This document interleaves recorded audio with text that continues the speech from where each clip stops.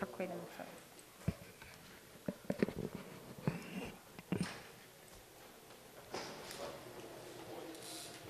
Poštovani članovi pododbora, otvaram prvu sednicu pododbora za praćenje epidemiološke situacije zbog prisustva zarazne bolesti COVID-19, kojom predsedavam u skladu sa članom 44 stav 6, a u vezi sa članom 70 stav 1 Poslovnika Narodne skupštine. Pored članova pododbora, sednici prisustvuje i profesor dr. Aleksandra Knežević, subspecijalista virusolog sa Medicinskog fakulteta u Beogradu, koju u ime pododbora pozdravljam i zahvaljujem se na tome što se odazvala našem pozivu. E, takođe prisustvuje i e. Darko Lakitić, predsednik odbora za zdravlje i na početku bih zamolila kolegu Lakitića da vam se kratko obrati. Dobar dan svima, još jednom i zaista je zadovoljstvo da razgovaramo o, o današnjoj temi, dakle tema, je, tema su sojevi virusa COVID-19 i zadovoljstvo u smislu da pre svega i mi parlamentarci e, damo određen doprinos u smislu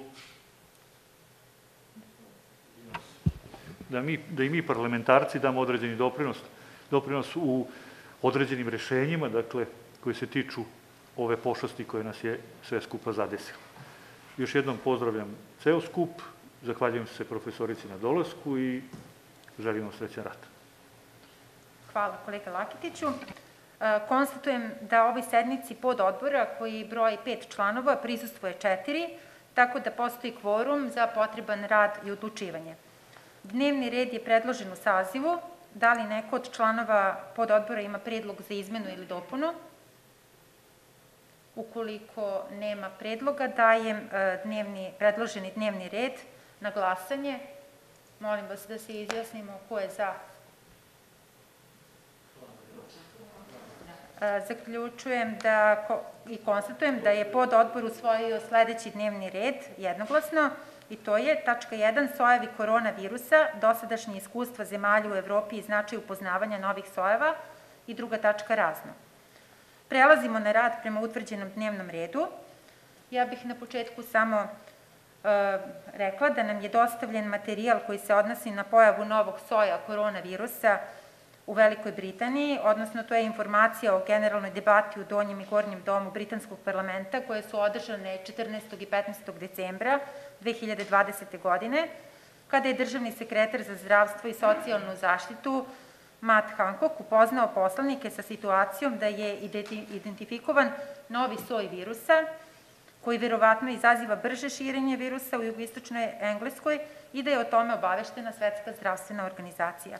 Istakao je da je neophodno brzo delovanje zbog eksponencijalnog rasta virusa u Londonu i u drugim oblastima Engleske, te da se broj zaraženih povećava među decom i e, školskog uzrasta, ali i među drugim grupama.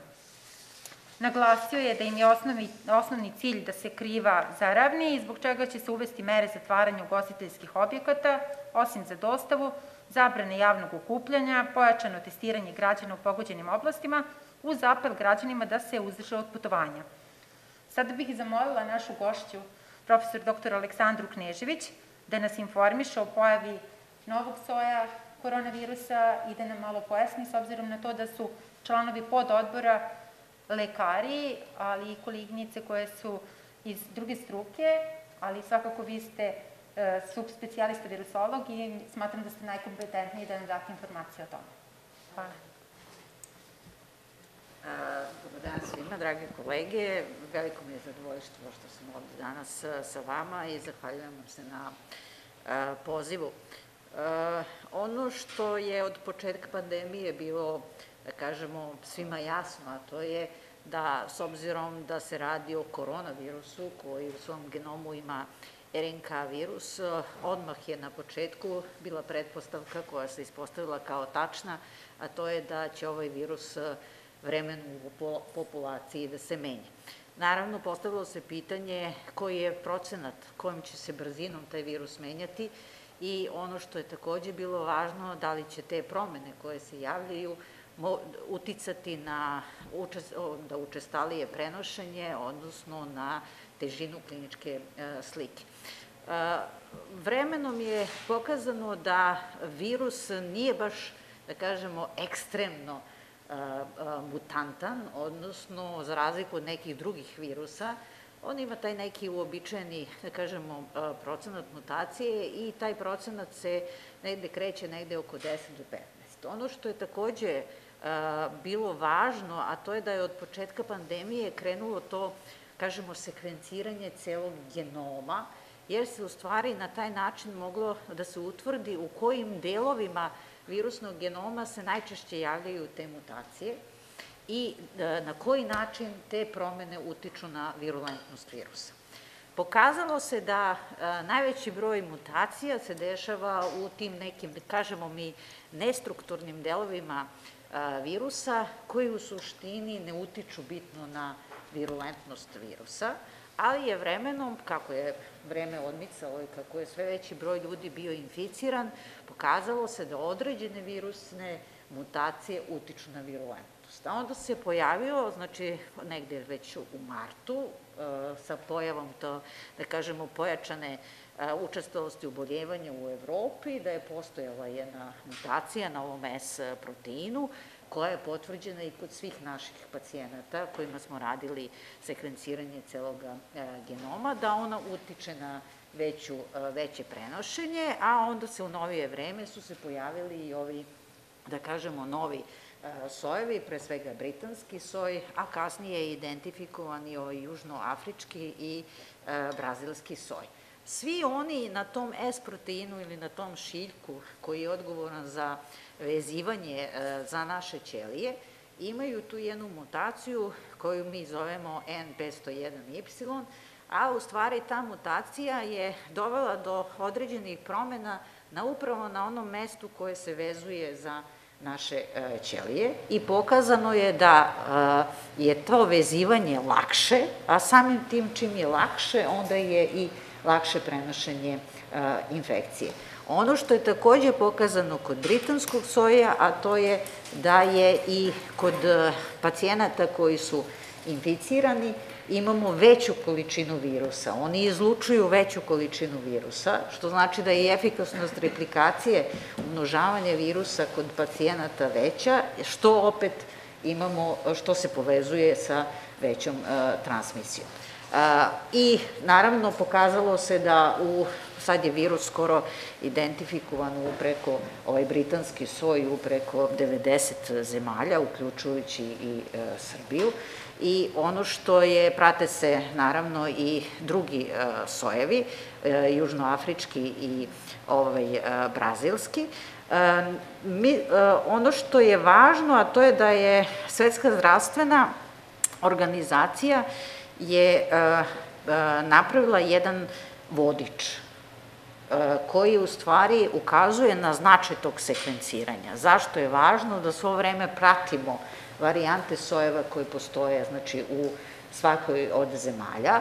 Naravno, Svetska zdravstvena je svesna toga da ne mogu sve zemlje da koriste da kažemo, tu metodologiju, s obzirom da je metodologija dosta skupa i zato je Svetska zdravstvena organizacija napravila taj neki vodič, a s druge strane to je uradio i ovaj Evropski centar za kontrolu bolesti, tako da je, su preporučene metodologije i ono što je takođe važno, a to je da je preporučeno koliko bi u stvari trebalo da se e, radi analiza. Znači, ne treba da se radi svi inficirani, nego da se prema broju inficiranih u određenom vremenskom periodu koliko treba u stvari uraditi e, tih analiza da bi se moglo na pravi način da se prati.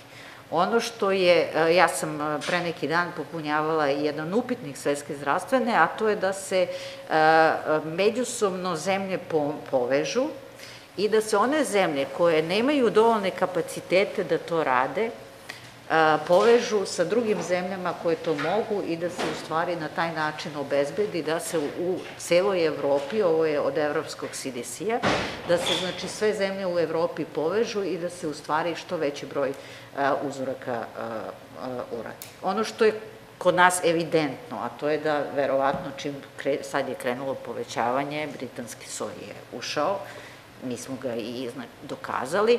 Mi sad e, radimo samo da vidimo u kojoj meri je taj e, britanski soj prisutan, to je e, važno.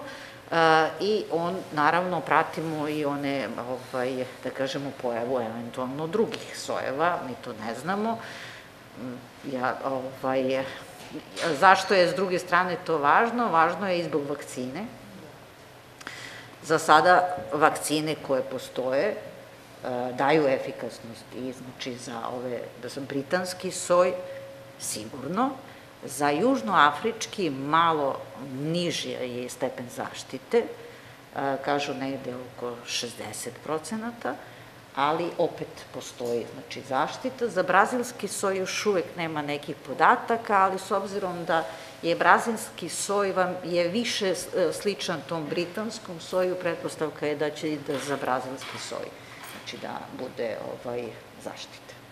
Eto, jer imate, ja ću Mogu da pitam ga. Naravno. Da. A, mene interesuje e, pre svega ovaj aspekt e, mutacija koji se odnosi na spike protein o kome smo Dobro. pričali. E, sa tog virusološkog aspekta, koja je verovatnoća da se baš mutacija desi na spike proteinu, a ne na nekom drugom antigenu koji se nalazi dakle, na membrani i, i tako dalje. Ovo kažem zato što je to krucijalna stvar, zato što je osnovni sastojak naših određenih vakcina upravo e, spike protein. Dakle, reakcija, e, imuna reakcija čoveka koja se očekuje, upravo je ona koja je, za koju je odgovoran taj spike protein. I da li ta mutacija na spike proteinu, govorim o dosadašnjim mutacija, mutacijama, Da li, da li je ona uticala dakle, na, na intenzitet imunizacije, na, na kompletnu zaštitu ili parcijalnu zaštitu čoveka i slične efekte? Evo ovako, e, na kom mestu će se desiti mutacija, to je potpuno, da kažemo, nasumično. Znači, nema nikakvog pravila, znači, virus kada umnožava svoj genom, on koristi svoje enzime i ti enzimi mogu da naprave greške. E, te greške, ovaj virus korona, delimično ima sistem da ispravlja te greške, međutim, naravno, to ne, nije 100% ispravka. Što znači da se mutacije dešavaju sasvim spontano na bilo kom delu genoma. I zato mi u stvari ne možemo da predvidimo na kom delu genoma će doći do uh, promena samog virusa. Uh, ove, da kažemo, mutacije koje su prisutne u britanskom soju, one su se pojavljivale pojedinačno u nekim drugim sojevima. Znači, on imate neki, kako kažemo, neki triplet, neke tri važne mutacije na tom S proteinu i te tri važne mutacije, one su se ranije dešavale pojedinačno kod nekih pacijenata, kod nekih sojeva, ali ovde je problem zato što su se spojile sve tri na jednom mestu.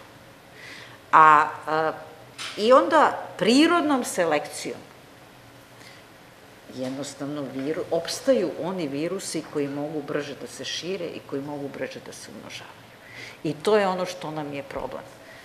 Mi ne možemo da predvidimo kako će se on menjati, a ono što je u stvari, da kažemo, glavni problem jeste čim imate veći broj ljudi da je inficiran, verovatnoća da se zadrži neka mutacija koja je povoljna za njegovo širenje ili za njegovu virulenciju je veća. I tako nastaje dominantni soj. I tako nastaje dominantan soj. On znači preovladava i ta, to, ta, neke mutacije se više ne pojavljuju, zato što, u stvari, najveći broj mutacija kada se virus menja, ničemu ne služe. I naravno te mutacije nestaju, zato što nisu efikasne. Opstaju samo one koje su bitne za njegovo prenošenje i za njegovu E sad, za imunizaciju nama je važno da pratimo da li će se eventualno pojaviti neka promena na tom spajku koja može da kompromituje zaštitu.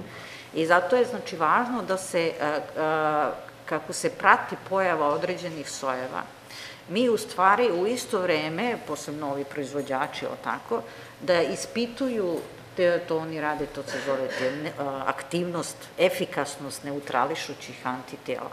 I onog momenta kada ta efikasnost padne ispod određenog nivoa, to još uvek sad nemamo konsenzus koji je to znači nivo, dolazi, morat će da se menja vakcina.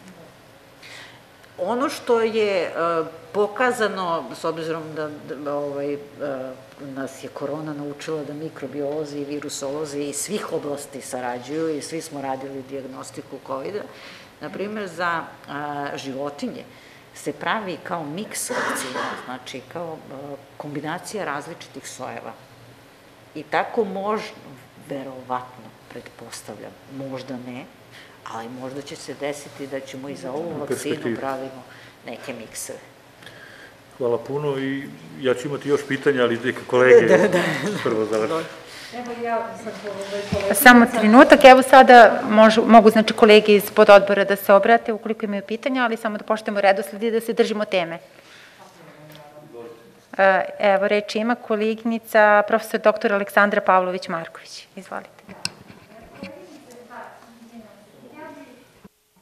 Vas pitala ovako, sada smo trenutno svedoci e, hospitalizacije pacijenata i u Batajnici i na infektivnoj klinici, to je ono što znam, pacijenata koji se zaražavaju. Prvo je bilo posle prve vakcine, a sad, nažalost, i posle revakcine mi na klinici troje imamo teško posle druge, znači posle revakcinacije. I to e, dve do tri nedelje, to su prvo ovaj, ljudi koji su prvi vakcinisani, jer smo mi kao struka prvo vakcinisani. Da li vi tumačite e, znači, tu mogućnost zaraze, u stvari, kod svih ovih kolega je dokazan visok nivo antitela, mislim visok nivo, 70, 80 ili tako dalje, što znači da su antitela prisutna i pored prisustva antitela e, zaraza je nastala. Da li vi to komentarišete, da u stvari antitela nisu jedini način kojima mi možemo meriti naš imunitet, da li možda britanski soj virusa je kriv što sada posle ovih vakcina i revakcina mi imamo ogromnu zarazu ljudi koji su već primili ili jednu ili ovaj, se revakcinisali, znači potpuno vakcini. Kako tumačite sad oboljevanje ovih ljudi u velikom broju koji su primili ili jednu dozu, tu smo mogli da tumačimo, nisu stekli potpuni imunitet, kako sada sa dve doze? Da zavisnosti od vrste vakcine imunitet se stvara različ, u različitom vremenskom periodu. Znači, kod, pokazano je za Pfizerovu vakcinu da se kod nje imunitet stvara, da kažem, brzo. Odnosno, da kažu da već posle prve doze, tri nedelje posle prve doze, vi već imate antitela. Ali, i onda, naravno, posle druge doze, taj titar se značajno povećava. Kod ruske i kod kineske vakcine je pokazano da je titar antitela koji se pravi posle prve doze skoro nikakav. I u tom periodu je naravno su ljudi podložni nastanku infekcije. Posle druge doze opet postoje razlike. Kod ruske vakcine, odnosno kod Sputnika, se antitela, da kažemo neki zaštitni nivo, pojavljuju negde posle druge, treće, a za kinesku posle treće, četvrte nedelje. Nedelje. Nedelje.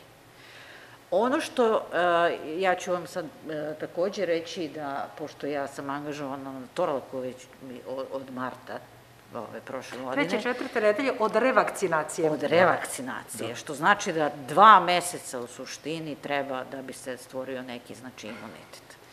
Ono što je takođe pokazano, pošto mi na Torlaku smo primali različite vakcine, neki su primili Pfizera, neki su primili e, kinesku, neki su primili, kako je koja dolazila, mi koji radimo u laboratoriji smo se vakcinisali, I mi smo svi radili antitela. Postoje veoma velike individualne razlike u titru antitela. Znači, svi smo primili isto, isto, i isto ali, na primer, ja posle prve doze Pfizera imam titar 5,5, a moj kolega ima 0,6.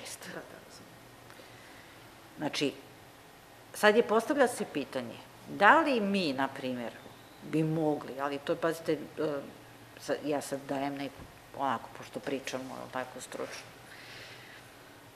E, da li, na primer, bar za zdravstvene radnike ili ostalo, treba pratiti ka titar antitela? Kako je vaš savjet i smernica na tu temu? Pazite, tu neki kažu uopšte ne treba raditi antitela. Kako je vaš stav, recimo? Ja mislim da bar za zdravstvene radnike treba da im se proveri sta, serološki status. To je bar moje, moje mišljenje. Pošto su oni na udaru, mislim, mislim da bi trebalo da im se proveri. Ja većinu kolega koje znam, svi su imali dobro. Evo, evo dala sam vam primjer jednog kolege koji je, znači, jednostavno nije napravio antitelo. Ali Ono što je važno, što mi u isto vreme, pazite, ovo je bilo odgodno, to, to je na Torlaku mi to pratimo, znači meni su vadili krv posle treće nedelje Da, od prve doze, znači da, tako. I kolege su imali Da. visok titar antitela i razbolele se. Tu, tu, tu Da. je moja briga. Evo. Da. za, za mene je ovo što je koleginica rekla nepoznanica. Jer svako, svako ko je imao titar, ne samo da je moj stav bio da može Da. da, se razboli sa Da. lakom kliničkom slikom, već nisam imao uopšte primjera u praksi da se, da se neko razbolao sa visokim Da, titarom. jeste. E, međutim, kao što kažete, postoji humoralni celularni imunni odgovor. Da, to I to nije jedini da aspekt o kome Da. možemo da govorimo, nivo antitela. Da, dakle, e, ima tu mnogo aspekata i mnogo nepoznanica, nažalost, još uvek. Da. Bez obzira što Jeste. COVID infekcija traje ovoliko koliko Da, traje. Tako da. da, To sam upravo htela da vam kažem da su kolege, znači, e, pošto smo mi to tako započeli kao neku vrstu neke naše ove studije, e, ispitivat ćemo i celularni imunitet. da, postoji mehanizam da se ispita? E, Da, to naše kolege na ove, našem imunološkom ovde delu instituta ovaj, ispituju celularni imunitet i sada je ideja da, znači, pošto smo videli da postoje razlike u titru antitela, da se svima ispita i celularni imunitet, da vidimo da li tu postoji neki, da kažemo, poremećaj, možda, znači, i ta, pazite, i pitanje je, ono što mi ne možemo ovde kod nas da ispitamo, a na primjer bilo bi korisno kod tog, znači, ovaj, kod tog kolege da se, koleginice se ispita, a to je e, efikasnost neutralizacije. Da li su ta napravljena antitela stvarno dobra? Da, da. Jer možda kod nje se nisu napravila adekvatna antitela. E, e, Vidite koliko tu ima problema sa kojima se suočavamo. Uvek postoji mogućnost da nešto, kažemo, ispadne iz, iz okvira onoga. Mislimo, jedno je ono što govorimo, mislim što bi trebalo tako da bude, ali naravno u medicini smo već svi odavno naučili da dva i dva nikad nisu četiri. nažalost. Da. Možda ću posle, ali neka drugi pitaju. Da li neko još od kolega ima pitanja?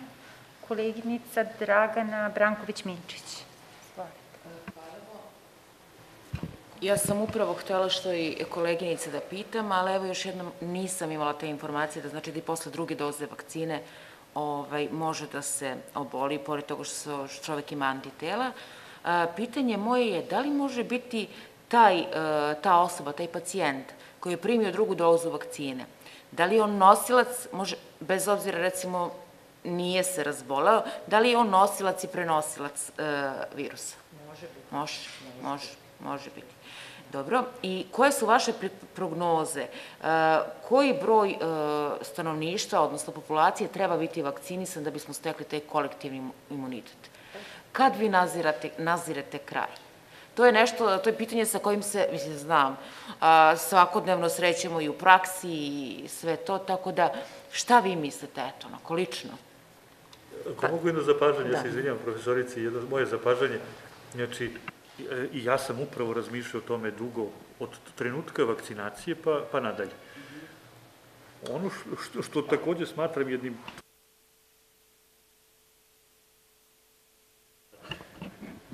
sa procesom vakcinacije nisu vakcinisani samo ljudi, dakle osobe koji nisu imali kontakt sa virusom, dakle oni koji nisu preležali bolest, nego su vakcinisani i ljudi koji su preležali bolest, dakle, u određenom procentu. Taj procenat mi ne znamo. I taj procenat ljudi smanjuje onaj procenat vakcinisanih koji je neophodan da bi dospeli u prokuženost, da kažemo da, da nam je nacija prokužena. Znači, e, to je jedan razlog za koji lično smatram da je nedokaziv. Mi ne možemo da znamo to. Ali je taj visok procenat, da znate. To je moja apsolutna procena, da je taj procenat ljudi koji su preležali, a vakcinisali se, visok. Tu na taj način rešenja nema. A s druge strane, Imamo i, i ovaj faktor da se ne produkuju antitela i ne stvara imunni odgovor odmah neposredno nakon vakcinacije. Znači, mi ne možemo da imamo prokuženost dva meseca realno od druge doze kod nekih vakcina. A te vakcine su nam dominante, koji daju takve efekte. Znači, do leta, Do leta. to je moja sad procena u glavi, s, s tim što opet zavisi i od dinamike vakcinacije, od sojeva, ovo što je koleginica pričala, Pa, od mera, od mera i stepena infekcije građanstva zavisi na kraju krajeva i stepen mutacije virusa. Znači, mnogo faktora je tu isprepletano da bi mogli da damo, dajemo procene sad u ovom trenutku, jer ipak je to svetsko pitanje, nije to samo naše pitanje i odgovor na to. Ja se izvinjam, profesor. Ne, ne, Pazite, pitanje za kolektivni imunitet je više epidemiološko. Ja mogu da vam kažem, s obzirom da, da, da, da sam ja i nacionalni koordinator za poliovirus, na primer, vi kad imate vakcinaciju za ove neke druge stvari, znači to je, kažu, efikasna, znači efikasnost zaštite ili kolektivni imunitet ili je preko 90%. Ono što u stvari, e, koliko ja vidim, smatra se tu, cirkuliše jedna cifra od 70%. Da, da je to neka cifra od 70% kada vi već možete da razmišljate da stvarno postoji neka vrsta kolektivnog imuniteta. Jer, na primjer, i vi kad posmatrate i ove za druge bolesti koje se prenose preko, znači, odnosno koje su e, preveniraju putem, znači, vakcine, to čim krene e, stepen, odnosno procenat vakcinacije ispod 80%, to je već alarm. Mislim, to, to je, zato se nama desilo morbili pre dve godine. Mi smo imali sednice odbora na tu temu kad je pao bio obuhvat, Da, da. pa smo donosili ovde neke odluke na samom odboru za zdravlje i porodice. I kad se javio divlji poliovirus na kraju krajeva, Da, sećate se Da, onog da, da. momenta, e tad smo onda zaista alarmirali da, zdravstvenu javnost. to je, to je, pro, procene su, znači, E, ono što mi kao, e, pazite, mi s virusolozi, ja gledamo one, znači, ove viruse, ja kad analiziram, meni je onako, kad ja vidim da su tu neke uobičajene e, sojevi, mutacije koje su tu cirkulišu, ja onda nemam nemam nikakvog e, straha. Jedino, znači onda kad nešto vidim da mi ne, nešto, onda proveravam pet puta da vidim da vid, slučajno nešto nije, e, da kažemo, neobično, što bi onda naravno napravilo neki ovaj, e, alarm. Za sada sve, sve što, e, meni je samo, kako da vam kažem, e, meni kao virusologu, ja bi po ceo dan bila u laboratoriji i znači radila te sekvence da bi to ovaj, Znači, da bi mogla da pratim, meni je strašno žao što mi imamo samo jednu mašinu koja je priključena samo jedan kompjuter. Analiza ne može da se radi u isto vreme kad radi mašina. Mislim, mi smo ograničeni a, tim stvarima, mogućnostima. Ja, naravno se nadamo da će nam sad ovaj, vlada obezbediti da dodatno kupimo da bi mogli, znači, ovaj, više ovih a, uzoraka da obradimo i ono što, što bi isto bilo, na primjer, za, za mene, ali ne znam, ovaj, ja sad možda malo, ovaj, kad bi mogli nekako da imamo tu neku mrežu pa da sa svih strana dobijamo znači, ovaj uzorke. Mi naravno smo koncentrisani na Beograd, Beograd ima najveći broj stanovnika i najveći broj zaraženih i tu očekujete, ali znači dobijamo uzorke sa drugih strana, a mislim da bi bilo zgodno i tu bi, na primer, važni bili i kliničari. Kada ima, na, na primer, nešto specifično, nešto neobično, kao što su kolege uh, iz, sa infektivne, uh, profesor Stevanović nam je poslao određeni uzorak, jer je kod tog pacijenta bilo nešto Specifično. specifično, čudno i ispostavilo se da je to Britanac. Eto, to je, ovaj, sad evo sad radim neke uzorke iz doma iz Zemuna, iz Zemunske bolnice, isto kod nekog pacijenta je nešto bilo neobično i imam uzorak od medicinske sestre posle, koja je posle druge doze dobila Ovaj, to ću sad da, da ovaj, uradim, to me baš za, za, Da li su da. to možda, to sam i pitala, Da, da. ovi sojevi novi Da, na da. koje baš Eto, to ću, znači sad sam dobila, znači od nje ciljano jer ona posle druge doze dobila ovaj, infekciju i dobila sam sad njen uzorak koji ću sada stavim pa ću da vidim ovaj, šta ćemo dobiti. Eto, to. E, Hvala. Ja bih pitala, eto, da li je kod ovih, recimo, e, eto, konkretno kod te koleginice, odnosno medicinske sestre zdravs- zdravstvenog radnika koja je primila obe doze, da li je klinička slika blaža, obzirom na to da je primila vakcinu? E, koliko ja znam, ona je imala pneumoniju, obostranu pneumoniju, a sad e, detalje o težini kliničke slike, to stvarno Dobro, i to govori da nije, da nije blaž, Da. čim je imao u Da, da. To, ja, kako da vam kažem, ja, ja nemam i kad biram, e, pa mene sad kolege zovu sa različitih klinika, pošto se znamo i onda mi tako šalju ove uzorke, što mislim da je dobro. S druge strane, ja sam tamo na Torlaku, gde, znači onda a, biram uzorke prema onome što men, e, pošto da biste to uradila, ta analiza, moraju biti ispunjeni odgovarajući kriterijumi. Ja ne mogu sve uzorke da, da radim, a onda kad uđem u COVID bazu, na primjer, za tog nekog pacijenta, ja nemam nikakav podatak. Ja samo znam, na primjer, da je on uzet iz, ne znam, u, u domu zdravlja u, u Čačku Da, da. ali nemam nikakve podatke kakva je njegova klinička slika, da li je bio u kontaktu sa nekim, znači, a, a to su takođe, da kažemo, bitne informacije. Za neke imam, znači mogu da ispratim. Naprimer, one koji su se pojavljivali u početku, o, njih smo imali, jer je sve pisano na onim uputima. Sada, znači, uglavnom se, e, ja pretim, gužva je, problem je, ne može sve da se stigne, ovaj, tako da tu nekad nemamo dovoljno informacije. Hvala. Da li još neko od članova pod odbora ima pitanje? Koleginica Rajka Mlatović.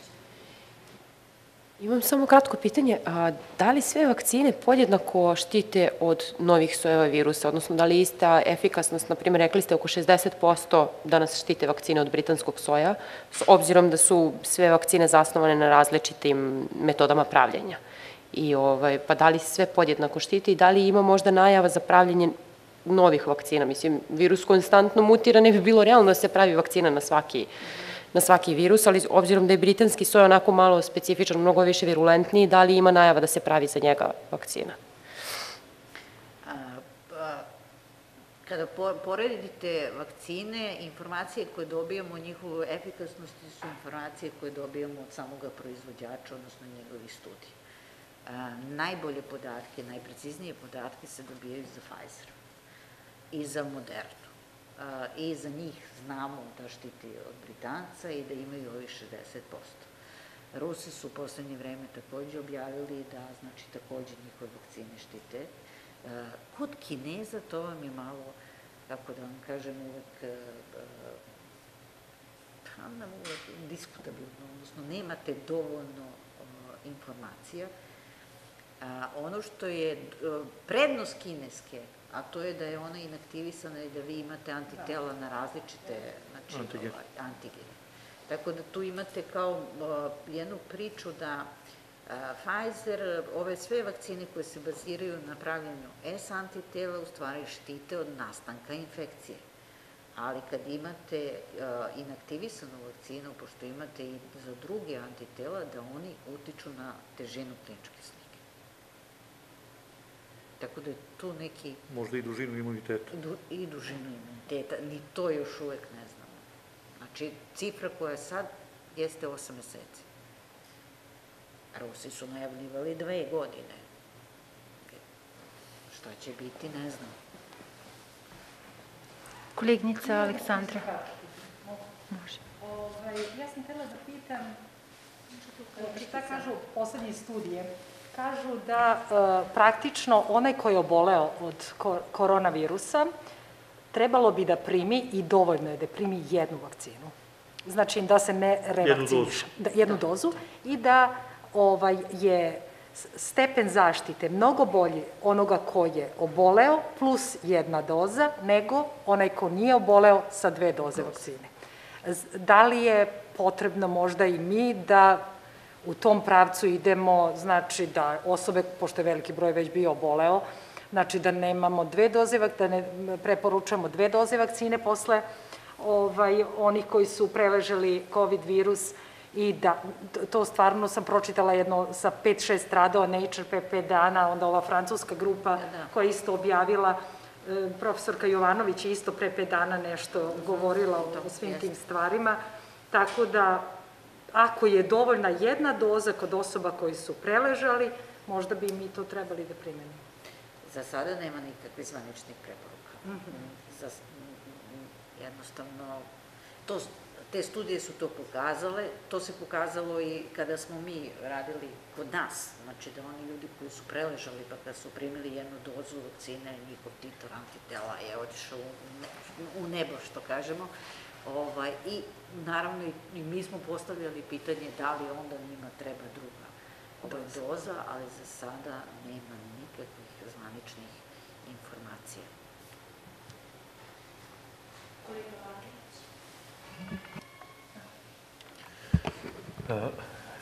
Ja bih iskoristio priliku jer redko kad imamo šansu da pitamo virusologa u ovakvom aktualnom trenutku vezano za ovu bolest. Znači, e, hteo bih da pitam baš jedno strogo virusološko pitanje.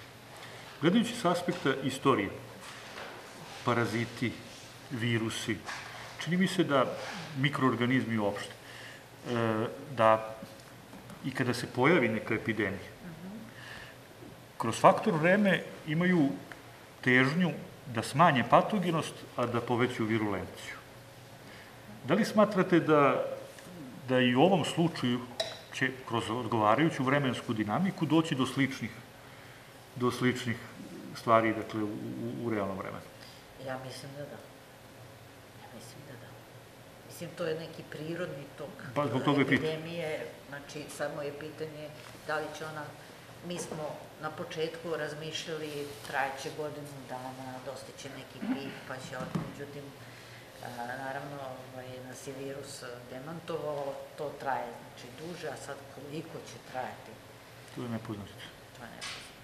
Pazite, ja kad gledam, a, ono što je meni onako kao važan parametar, ja gledam e, Svetska zdravstvena kad objavljuje ukupan broj ljudi inficiranih u svetu. I onda sad, je, sad imate trend Opada. opadanja. E sad jedino ako zbog ovih novih varijanti, znači ovaj, ne krene. Ali sad imate i vakcine. Vakcina bi trebala ipak da pruži zaštitu, određeni stepen, ne može 100%, ali određeni stepen zaštite. Tako da se nadam da, ovaj, da će vremenom, a s druge strane, čim ima manje ljudi koji su inficirani, virus nema gde, i polako. Da. Ajde još jedno pitanje, onda kažem, mora da se iskoristi ovo vreme, tamo posle. E, čitao sam jednu studiju koja se tiče e, građana Izraela, verovatno ste i vi pročitali, koja se tiče efikasnosti i u stvari stepena zaštite e, tih lica koji su vakcinisani e, vakcinom Pfizer-BioNTech. I po toj studiji 99% vakcinisanih je zaštićeno od smrtnog ishoda. Koliko je to realno?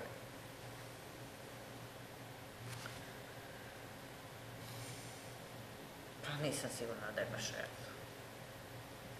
99%. To je stvarno. Studija je inače rađena na velikom uzorku od 602.000 i nešto, znači vakcinisanih, koji su primili obe doze, dakle, vakcine. Testiranja su rađena kroz određeni vremenski interval. Dakle, e, od tog broja, opet, oko 700 i nešto je obolelo. Dakle, od tih 700 i nešto, ne znam koliko je zahtevalo bolničko lečenje, i njih sedam je praktično bilo i na respiratoru sa najtežim Ishodom. ishodom. Dakle, sad kakav je bio ishod na kraju, to ne znam, ali generalno je u studiji takva e, raspodela bila. Da li mislite da je to realno? Mislim da nije. To zavisi ko sprovodi studiju. Ako je Pa- Da, kuća, da, uvek su da, rezultati, uvek bilo koja da, da. na svetu. Uvek su rezultati mnogo bolji nego realni. Hvala puno. Pitanja? Vidim da mene gledate, ali ja Dobro, zaključujem tačku 1. Pi- e, Druga tačka je tačka razno. Da li imate predloge, možda još neko pitanje? To. Ukoliko je tako, ja bih još jednom sa ovog mesta ipak da pozovemo sve naše građane da se pre svega odgovorno ponašaju i u skladu sa preporukama kriznog štaba, da poštuju sve mere zaštite i da se naravno vakcinišu jer ćemo tako što pre pobediti ovu pošast koja nas je zadesila i dovela u to da se ipak ponašamo mnogo drugačije nego što je to bilo pre infekcije COVID-19 i da se zahvalim još jednom našoj goš- gošći Aleksandri Knežević na ovako iscrpnim podacima, jer jesmo mi možda zdravstveni radnici, lekari, farmaceuti, biohemičari, ali ipak ste vi subspecijalista virusolog. Hvala vam još jednom što ste izdvojili vrijeme i odzvali se e, sednici našeg pododbora i ovim zaključujem sednicu. Hvala.